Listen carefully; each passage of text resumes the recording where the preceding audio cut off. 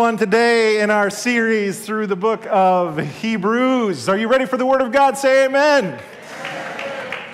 The book of Hebrews is all about how Jesus is greater. Jesus is greater in chapter 1 than the angels. In chapter 3, he's greater than Moses. In chapter 4, he is greater than Aaron. You see, in chapter 8, Jesus' covenant is greater. In chapter 9, Jesus' sanctuary is greater.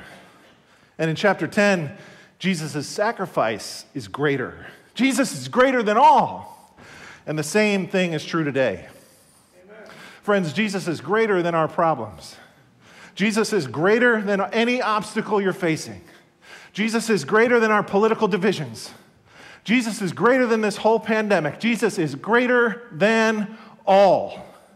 This is the message that we need today, friends. Last week, Pastor Bob kicked us off and he invited us to personalize that message in our lives. Fill in the blank. Jesus is greater than. What is that thing for you right now, friends? What obstacle are you facing and you need this message today in your life? Here's an example.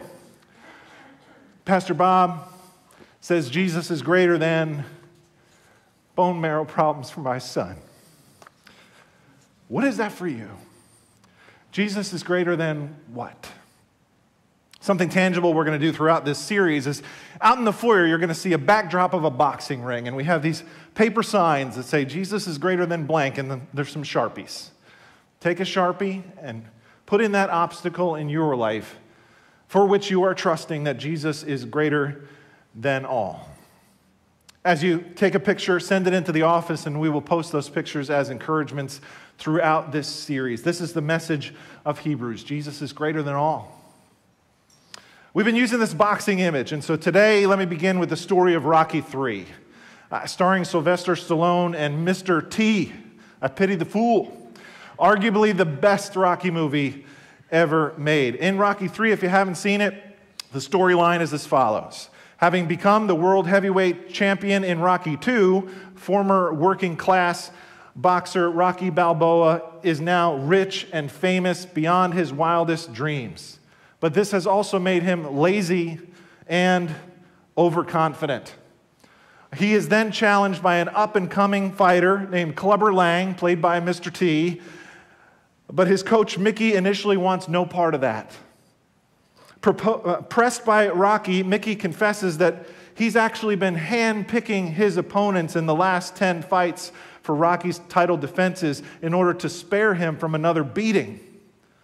He explains that Lang, though, is young and powerful, and most of all, he's hungry. And he says, Rocky, you haven't been hungry since you won that belt. You won't last three rounds in the ring with Clubber Lang. He'll knock you to tomorrow, Rock. Rocky, now knowing that he never really defended his title against the best opponents, convinces Mickey to work with him for one last fight. However, despite his promise to Mickey to live in the gym, instead, Rocky trains in a Las Vegas style environment that's filled with distractions, and he's clearly not taking his training seriously. In contrast, Clubber Lang trains with ruthless determination and vigor. And then, when the fight comes in what is a double whammy at the beginning of this film, Rocky loses both his trainer and father figure, Mickey, and then has his title stolen by the arrogant, menacing challenger, Clubber Lang. Rocky lost his hunger. The reason I begin with that story, friends, is I want to ask you a spiritual question. Have you lost your hunger for your relationship with the Lord? Meaning, other things have come into your life that have now taken the top priority. Dreams that you're chasing after, goals that you're pursuing. Perhaps you, like so many of us, have forgotten the priority that Jesus Christ has in this world and the priority that Jesus Christ wants and deserves to have in your life. And we've started to drift away. D.A. Carson describes this scenario so well. People do not drift toward holiness. Apart from grace driven effort, people do not gravitate toward godliness, prayer, obedience to Scripture, faith, and delight in the Lord. Rather, he says, we drift toward compromise and call it tolerance. Sound familiar? We drift toward disobedience and call it freedom. We cherish the indiscipline of lost self control and call it relaxation. We slouch toward prayerlessness and delude ourselves into thinking we have escaped legalism. We slide toward godlessness and convince ourselves we have been liberated. We drift. Can you relate to this tendency in your own heart? I know I certainly can. We love to make excuses. Why do we drift? And what is the consequences for drifting? And what is the solution to this tendency towards drifting? That's the subject of Hebrews chapter 2. Would you turn with me if you have a copy of the inspired, inerrant Word of God with you? If not, we're going to put the words on the screen, and so that's okay. But what you're going to see in our message today is three parts. We're going to see the warning against drifting, and then we're going to see the focus on Jesus as fully God, and then we will see the focus on Jesus as fully man. The warning against drifting, the focus on Jesus as fully God, and then the focus on Jesus as fully man. Before we get there, why don't we pray and ask for the Lord's help?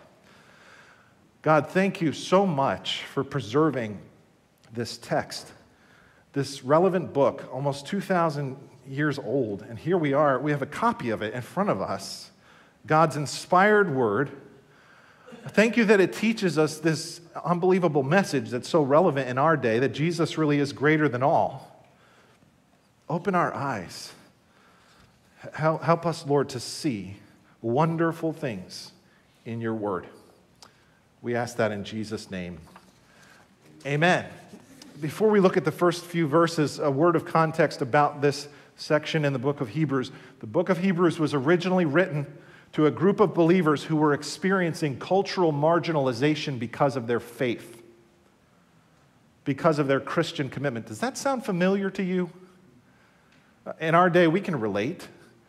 In our day, there's not just indifference towards the gospel message anymore, which was true in the previous generation. Now there is open hostility.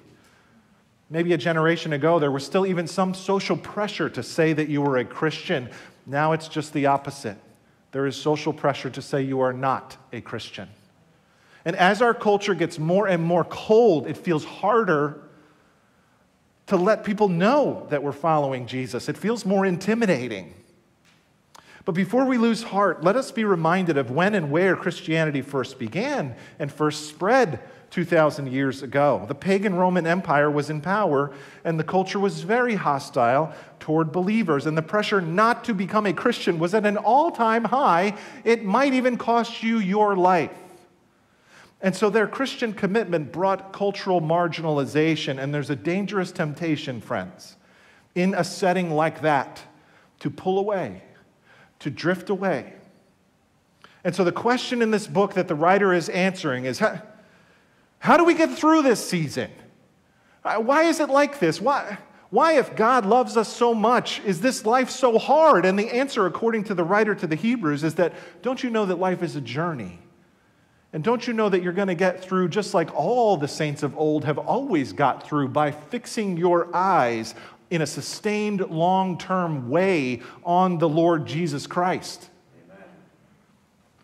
And so, this is what they are facing, and this is the situation in which he is writing. Now, some people ask, what exactly is the book of Hebrews? What is the genre of this this book? Is this a letter? Is it a narrative? Is this like the gospel to the Jews? And the answer to that question is this is a sermon.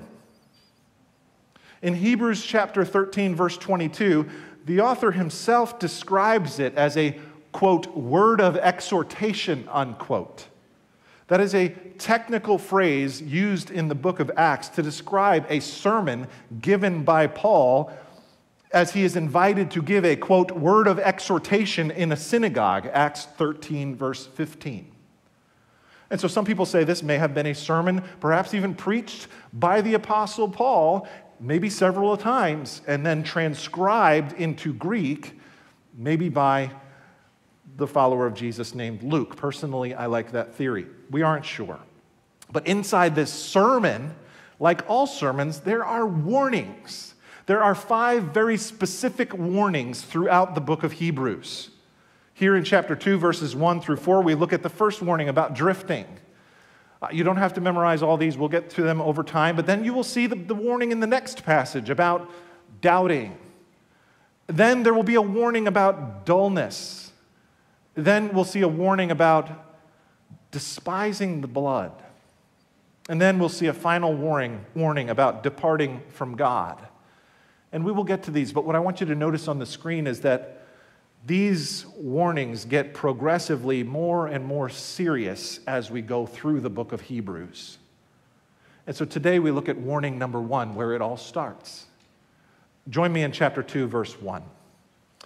The, the author says, We must pay the most careful attention, therefore, to what we have heard, so that we do not drift away. For since the message spoken through angels was binding, and every violation and disobedience received its just punishment, how shall we escape if we ignore so great a salvation? This salvation, which was first announced by the Lord, was confirmed to us by those who heard him. Verse 4 God also testified to it by signs, wonders, and various miracles, and by gifts of the Holy Spirit distributed according to his will. Now, pause there. Let me make a couple observations. Did you notice how distinctively Trinitarian the author is? Uh, notice here we see the Lord Jesus first announcing the good news. Then we see God the Father testifying to the trustworthiness of this message. And then we see the gifts of the Holy Spirit being distributed in the church to carry out the mission of God. The work of salvation is the work of our triune God. Praise be to the Father, Son, and Holy Spirit. This is the God we worship. Amen. And here the readers need to be reminded of who God is and how God is on their side and how God is in their corner as they sit in the ring. And so we see this Trinitarian focus. And I also want you to notice something we learn right here in this this text about the audience. We learn that this, this must be a group of second generation Christians. Notice it says that the message was confirmed to us by those who heard him. In other words, first the message was preached by the Lord Jesus, then is spread by those who heard him, meaning the apostles, and then it was confirmed to us which incidentally is one of the reasons why people say, I don't know if this could be written by Paul, as he actually did have an experience of hearing and seeing the Lord Jesus. The, the, the author here puts himself in the camp of the second generation of believers. In verse 4, it says, The apostles spread this message, and they were confirmed by signs and wonders. And we see that throughout the book of Acts, that signs and wonders accompanied the, the message, the good news of the gospel of Jesus Christ. And so, this is the context. It's written to a group of second generation believers. And that's very important because oftentimes, when the first generation accepts the gospel, sometimes the second generation has a temptation to drift away from the, the message that the first generation embraced. As God does not have grandchildren, we all have to have a personal experience with the gospel. And so this second generation is facing a temptation, and he gives them a warning. Notice he says, Do not drift away, verse 1, from the Christian faith. Do not drift away. That's a technical term. You need to remember that that is uh, the Greek word parareo, it, it, was a nautical term, a mariner's term, a, a naval term, and it was used to describe a, a, a ship which was drifted way off course. It, it was used to describe a boat that wasn't properly anchored and, and had drifted away. And, and so the, the idea here in using this term, uh, the author is saying that this drifting, you need to know, just like a boat, is something that largely would go unnoticed while it's happening. I remember going up in a hot air balloon one time, and when we were up there, we did not feel the wind because we were going exactly along with the wind. Uh, you do not notice when you are being pushed and drifted away. It is something that will happen and you will not be aware of it. The change will be almost imperceptible to you. Only later would the consequences become clear. It, it's like when my family, we, we, we go down to the Jersey Shore, and, and when, when the kids were little, we would say, okay, go out in the water, don't go too far in, but stay in front of the lifeguard stand. And then 10 minutes later, we look out, and the kids are now 50 feet to the north, taken by the undertow or the drift in the Atlantic Ocean. And it even happens to me uh, sometimes. I, you know, I'm out there, I'm having a good time, and then I look behind me and go, Where is my umbrella? I it, I'm 50 feet the wrong way. I, I drifted and I, I didn't notice. And that's the thing about drifting you don't notice it. Drifting can happen in so many areas, like physical fitness. We slowly lose good habits and pick up bad habits. It's easy to do. The reason it's so easy to do is because you and I both know that missing one day of exercise really isn't a big deal.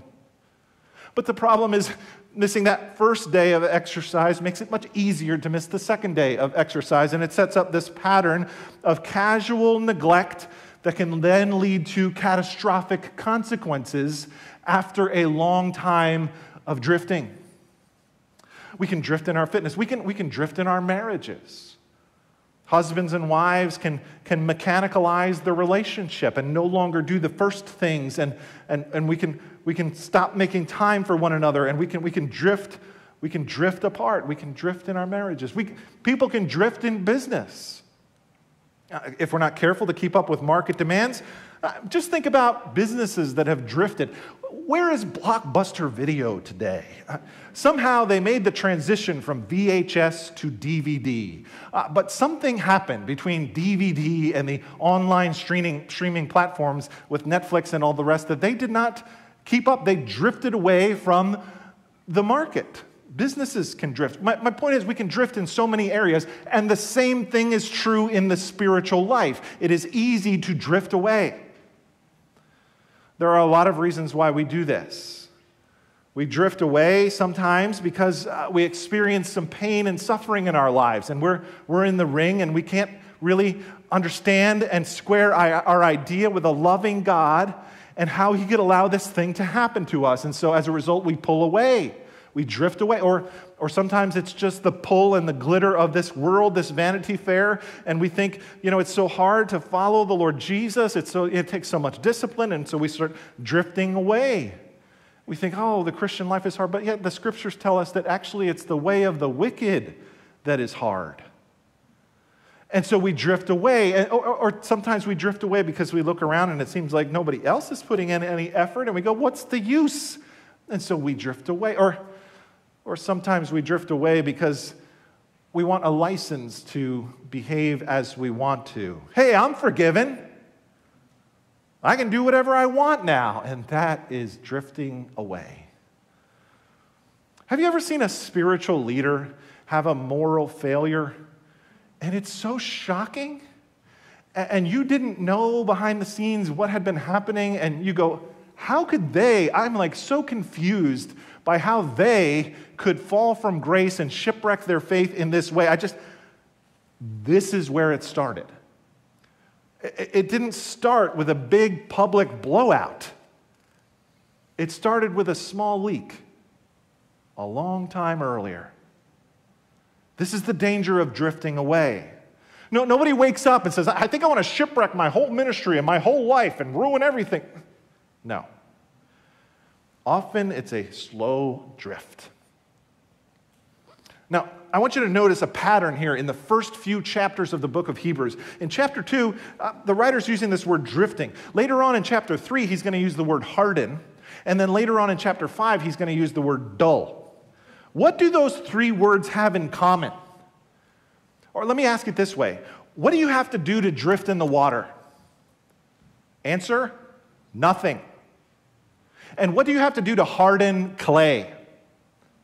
Answer nothing. Just leave it out in the sun. And what do you have to do to dull a knife? Answer nothing. Just don't sharpen it. Just don't do the regular maintenance on the knife. It, it, it will dull without any effort whatsoever on your part. You see the problem? Doing nothing is the problem. Doing nothing is the problem.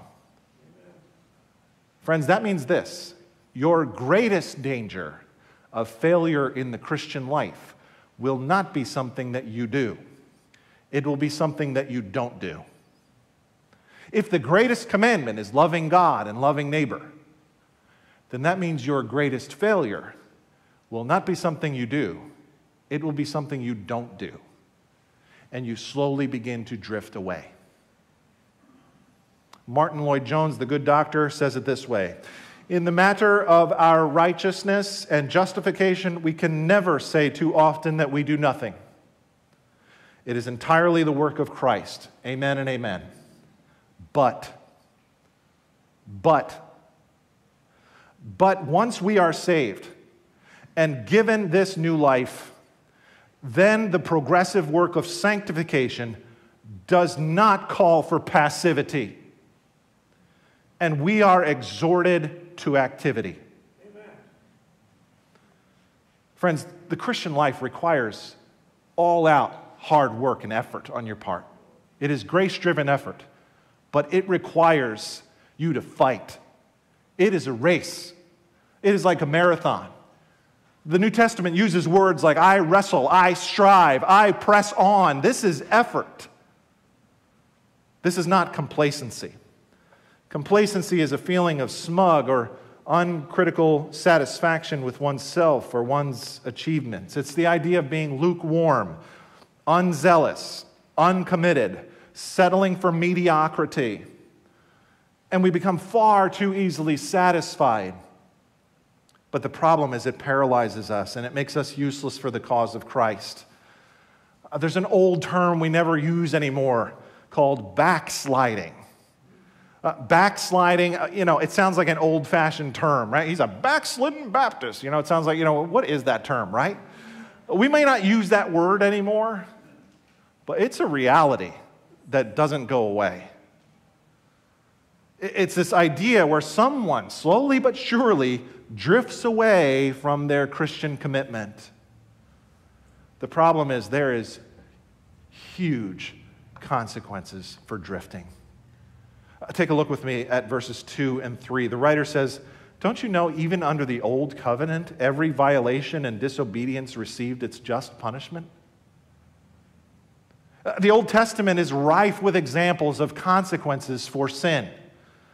Uh, we think of people like those who died in Korah's rebellion, or those who perished in the wilderness under Moses after wandering for 40 years. We think about Aaron's sons, Nadab and Abihu, who were slain by the Lord for offering strange fire. There is always severe punishment for disobedience under a covenant. And the point the writer is making here is what you call an argument from the, the lesser to the greater.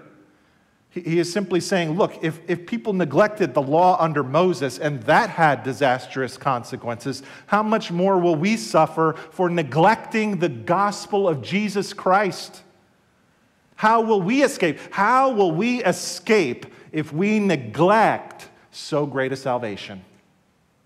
If we are not faithful to our covenant. Now, that doesn't mean that we're saved by our own works, but that means that those who are truly saved will endure and we will patiently persevere in the faith. That is how you know you truly are a follower of Jesus. And so the writer to the Hebrews is warning them of consequences. And we're going to talk about this later in our study, but for now, let me just remind you that in their context, the most immediate consequence facing the people who lived in the land of Israel at that time was a prediction given by the Lord Jesus that the destruction of the temple in AD 70 was upon them.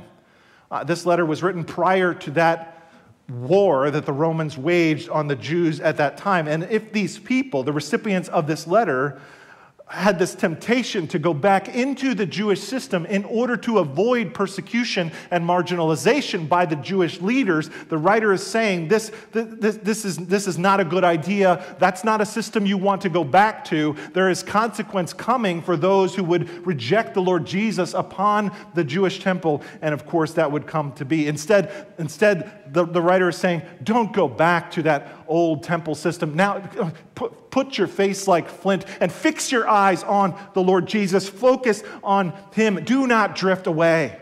Amen. Notice verse 1 gives us the solution. We must pay the most careful attention. Another technical term, uh, uh, the Greek word proseko, it means, Uh, it has a nautical implication too. It, it, it's used to describe holding a course holding the wheel on a ship so that it does not steer away or drift away. So notice the contrast with these two terms drifting away and paying careful attention. Drifting happens all on its own, doesn't take any effort on your part whatsoever. Staying the course is quite the opposite. Staying the course requires constant daily diligence.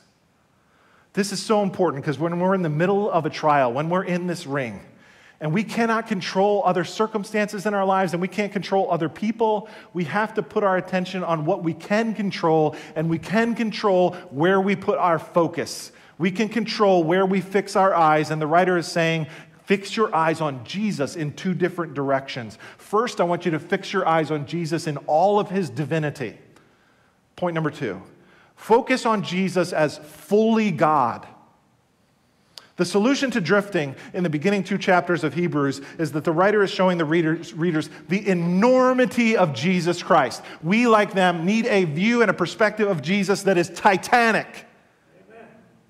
Hebrews chapter 1 has what's called nosebleed Christology, very high Christology. The, the writer quotes about a half a dozen scriptures that tell us that Jesus is superior to everything, even the angels. Look at chapter 1, verse 5. For to which of the angels did God ever say, You are my son? Today I have become your father. Now, at first, it seems kind of odd that he's comparing Jesus to the angels, but as background, you need to know that the angels were very important to those, especially who had a Jewish worldview, for two reasons. Number one, they were esteemed as God's highest messengers, and number two, it was believed that the law of Moses was given through the mediation of angels. You can look up Deuteronomy 33. And so, by saying Jesus is superior to even the angels, the author is saying that Jesus and his new covenant message is also superior to Moses and his old covenant message again in chapter 1 and verse 6 let all God's angels worship him. Amazing. The magnitude of the claims about Jesus here are astonishing. He deserves worship, even from the angels who cry, Holy, holy, holy is the Lord for all ages to come. This Jesus is the one lifted up on a throne. He's sovereign and he is in control of the universe. Even when it doesn't feel like he's in control of the universe, we need to recognize who Jesus is. Amen. Now, as an aside, there are other groups who may esteem Jesus, but they do not esteem him highly enough. For one example of this is the group of Jehovah's Witnesses, who think that Jesus is uh, an exalted creation, but not the creator, a creation of God. If, if you ever have one of these individuals come to your house on Saturday morning, say around 10 o'clock, knocking on your door, you might want to open up to this passage of Scripture with them. In fact, here's an idea ask them, hey, would you mind reading a verse in your Bible? About Jehovah for me? Okay, sure. Look up Psalm 102 for me and have them read it to you out loud. They will say, It says in the beginning, you laid the foundations of the earth, and the heavens are the work of your hands. They will perish, but you remain. They will all wear out like a garment. Like clothing, you will change them, and they will be discarded, but you remain the same, and your years will never end. Okay, now who's this about? Ask them, Who's this talking about? This is talking about Jehovah, right? It says Jehovah in verse 1 of Psalm 102. It says Jehovah again in verse 21 of Psalm 102. This has to be Jehovah. Who else is the creator besides Jehovah? Who else is the one who never changes except Jehovah? We're talking about Jehovah here, right? Right.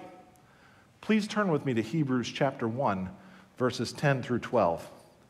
And what you will see there is the exact same quotation from Psalm 102 even in their own New World Translation, it will have a footnote that leads them back to Psalm 102.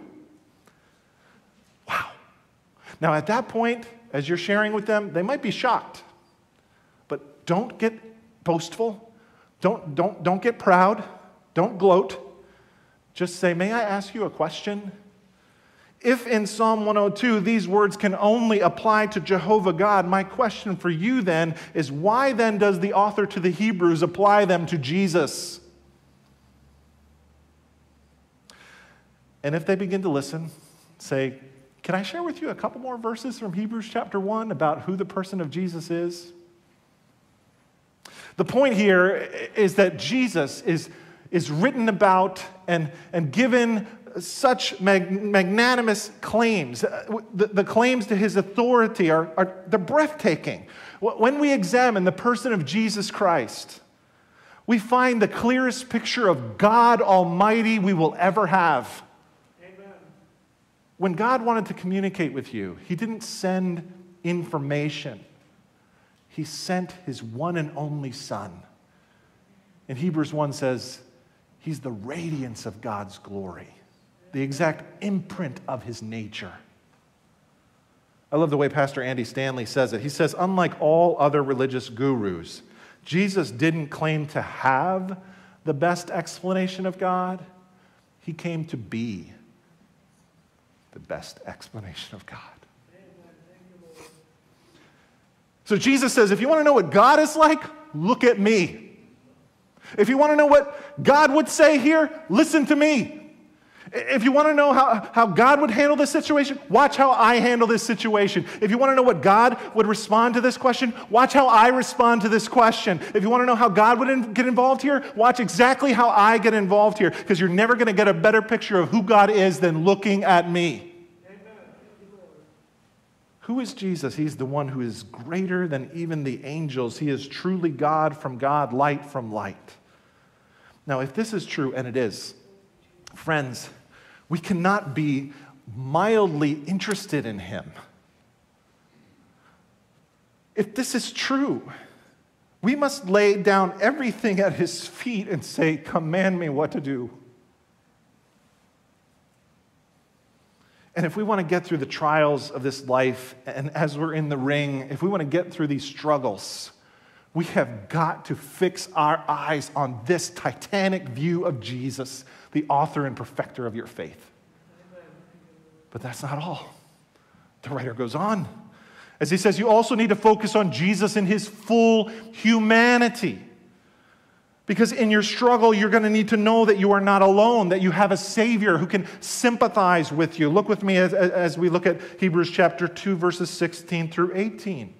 The writer says this For surely it is not angels he helps, but Abraham's descendants. For this reason, he had to be made like them, fully human in every way in order that he might become a merciful and faithful high priest in service to God, and that he might make atonement for the sins of the people.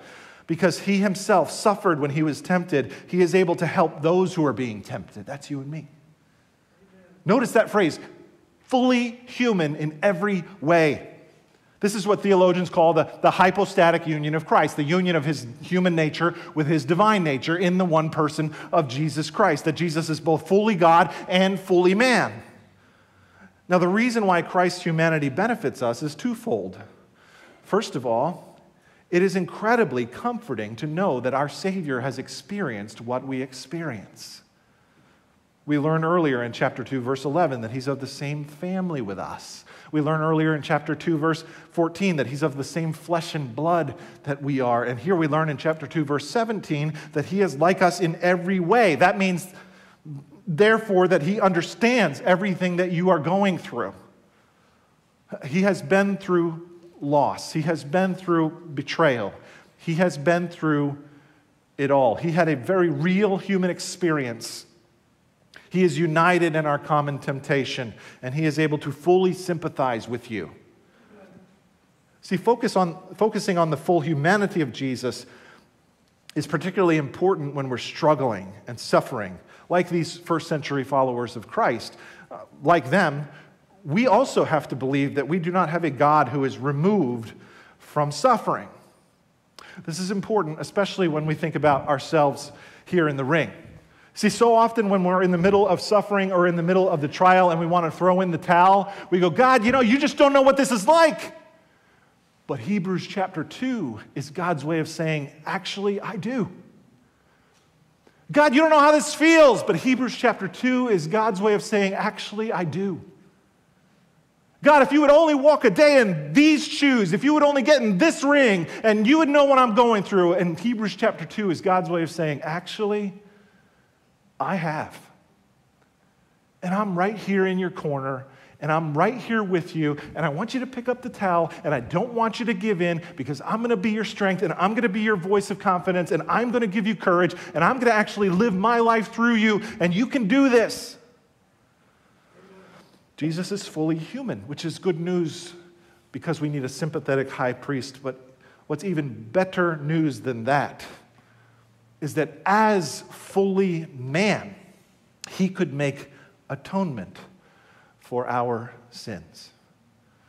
You see, the, the, the, debt of human sin was so great that only God could pay that debt. But yet, because it was mankind who did sin, only man should pay that debt. And so, therefore, Anselm said, there became a need for God to become man and make atonement and stand in our law place and be our substitute. No other religious system can offer you this.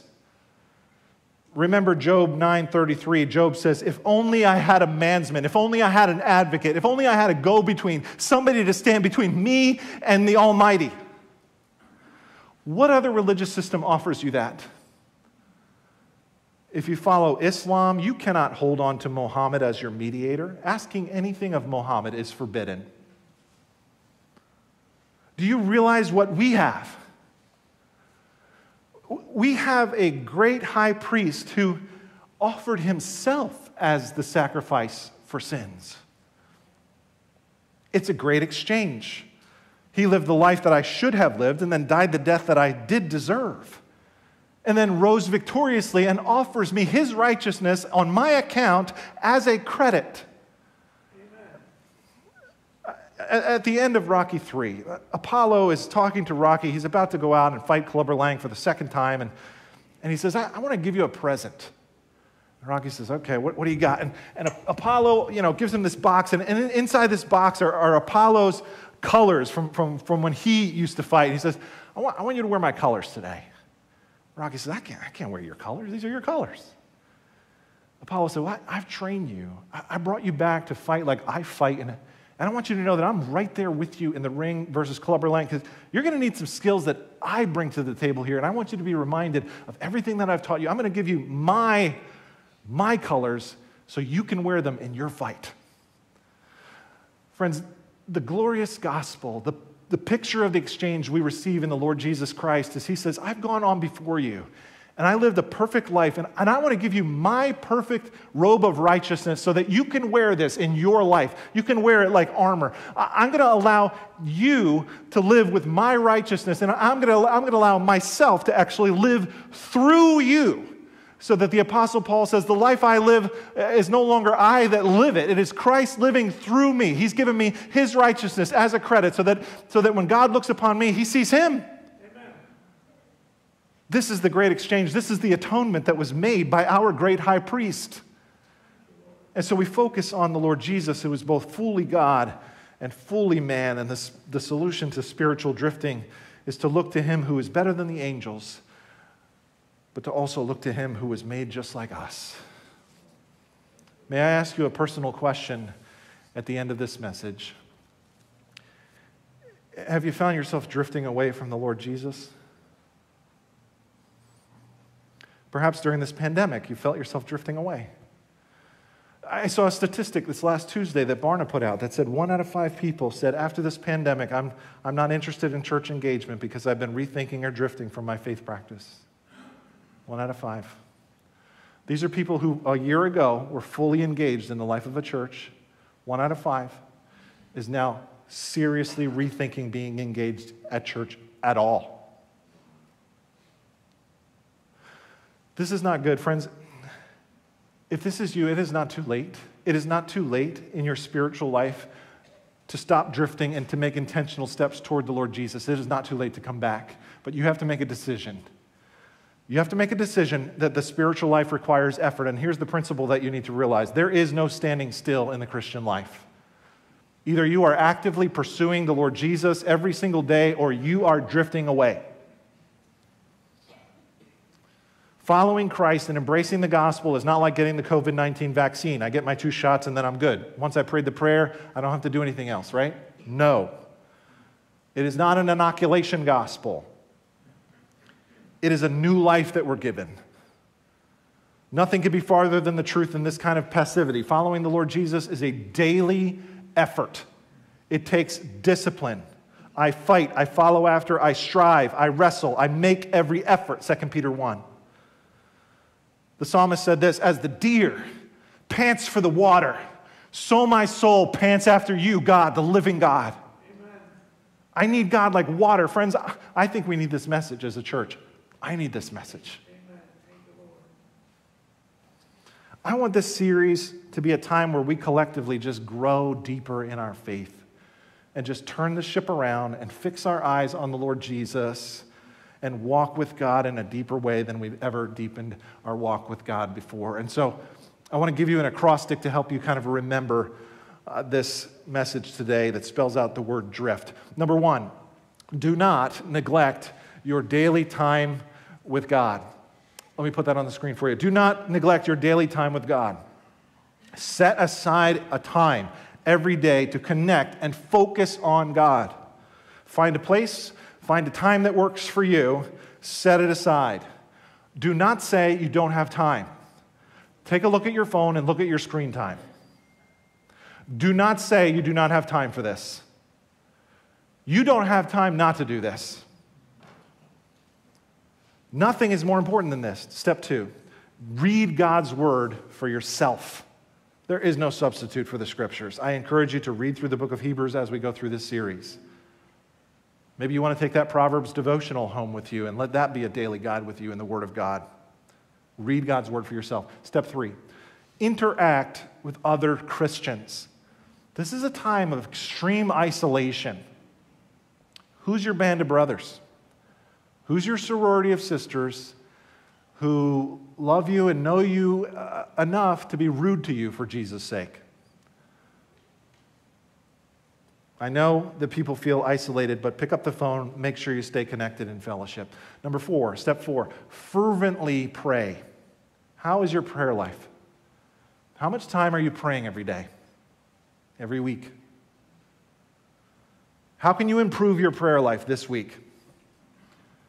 Maybe you need a prayer partner to hold you accountable. I do. I personally have a prayer partner. We pray every single Thursday afternoon. We've been doing this for five years. I need that because I need to be held accountable. Maybe you need that too. Fervently pray. Do not neglect time in prayer. Step five, tell others about Christ. One thing is for sure when I am telling others about Jesus, it really helps me to avoid the drift personally. So, who's that one person in your life? Who's that one that God has placed in your life this year and He's tugging at your heart and He's prompting you, saying, I want you to pursue them in love. I want you to go after them. I want you to pray for them. And the prayer in your heart is, Lord, if there's any way that you want to use me to share the good news of the gospel with them, please open up that door and I will be so faithful to walk through. Tell others about Christ. Don't drift. Friends, we're all prone to drifting. We're all prone to this temptation. That's why that old song says, prone to wander, Lord, I feel it, prone to leave the God I love. And we pray, what? Here's my heart, Lord. Take and seal it, seal it for thy courts above. These are kind of the basics, aren't they? But sometimes we have to get back to the basics. Let's not settle for drifting. Let's pursue Jesus, who is greater than all. As the worship team comes, they're going to lead us in one more fantastic song, but I want to finish that story with which I began.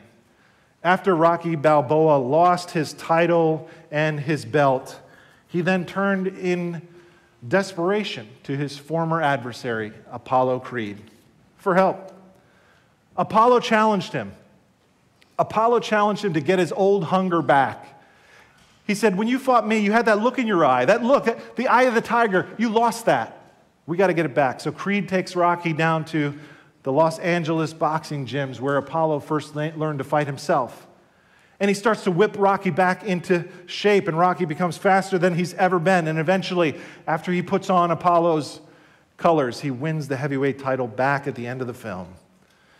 And, friends, the spiritual lesson there in that film is that if you're drifting in your spiritual life today, the answer is just to go back to the basics, to be intentional, and to pursue Jesus again, who is greater than all. Can you imagine a church full of people who took that seriously? Can you imagine a church full of brothers and sisters who were intentionally following hard after the Lord Jesus Christ? Let's be that church. Can we pray together? Heavenly Father, how grateful we are. As we consider your word today, we're reminded that our hearts are always prone to drift. And so we pray again, take and seal them, seal them for thy courts above. None of us is perfect. We all have areas in our lives that are out of balance and we've drifted. And so I believe, Holy Spirit, that you're speaking to hearts right now. And I pray, God, that we would be listening very carefully to what you are saying. Some of those areas are so painful we can hardly even stand to think about them, but give us courage to face them and to take steps towards you right now. God, we need your help. We humble ourselves before you. We are so grateful for your grace and how many times you never give up on us. You just continue to work in our lives. I pray that each brother and sister here would sense your awesome and amazing presence in our lives today. Help us not to drift but help us instead to fix our eyes on the Lord Jesus Christ, the author and the perfecter of our faith, the one who is greater than the angels and the one who also became like us. Our attention is on you, Lord. Keep us fixed on you, I pray, in Jesus' mighty name. Amen. Can we stand?